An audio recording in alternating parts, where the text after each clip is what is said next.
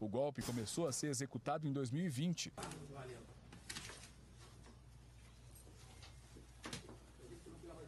Eita, olha quem tá aqui. Ô, oh, belezinha.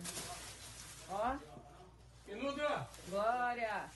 Quem tá aqui, ó? Aqui, quem tá aqui, Menudo? Puta que pariu! Ó.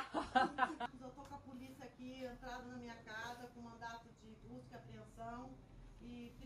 Concluímos nesse exame preliminar que realmente todas as características daquelas telas que foram apreendidas, elas são compatíveis com realmente as telas autênticas. A filha golpista foi presa hoje cedo.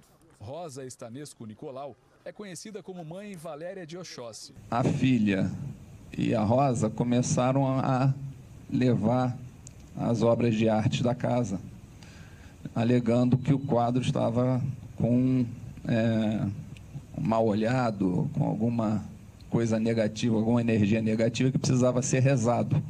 Então eles foram levando a idosa, vendo aquilo, sabendo que não era nada daquilo, mas ela não tinha como recusar. E Jaqueline Stanesco. E todas confirmaram a previsão de morte da filha. É, e levaram 16 quadros. As investigações mostraram que a filha da vítima levou cinco quadros para um galerista de São Paulo conhecido da família. Sete pessoas são suspeitas de envolvimento no golpe. Uma delas já